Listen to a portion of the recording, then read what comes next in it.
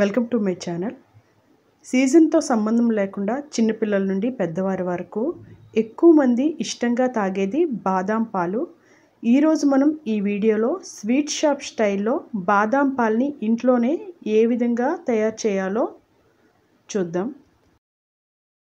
ఇద్దరికి సరిపడేటట్లు మనం బాదాం మిల్క్ని తయారు చేయడానికి గుప్పెడు బాదాంని తీసుకొని వాటర్ వేసి ఫోర్ అవర్స్ పాటు నాననివ్వాలి.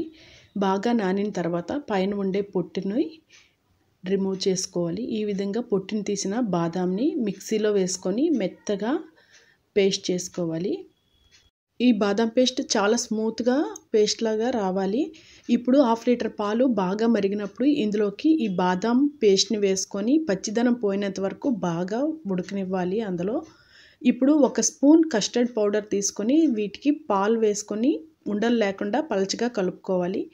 ఈ బాదం పాలు బాగా మరిగినప్పుడు ఇందులోకి ఇప్పుడు పావు కప్పు పంచదారని అలాగే యాలకల పొడిని వేసుకోవాలి.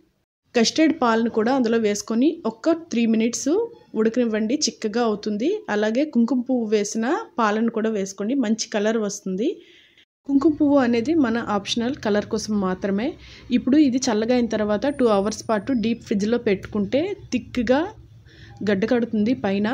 ఇప్పుడు ఆ బాదాం మిల్క్ని తీసుకొని మిక్సీలో వన్ మినిట్ పాటు మిక్సీ చేసుకుంటే కూల్ కూల్గా స్మూత్గా ఉండే బాదాం మిల్క్ రెడీ అవుతుంది. ఇప్పుడు గ్లాసులోకి నానబెట్టిన బాదాం పిస్తాని వేసుకొని ఇంటిల్లిపాదికి సర్వ్ చేసుకుంటే బయట స్వీట్ షాపుల్లో అమ్మే బాదాం మిల్క్ టేస్ట్తో హెల్దీ బాదాం మిల్క్ ఇంట్లోనే రెడీ చేసుకోవచ్చు.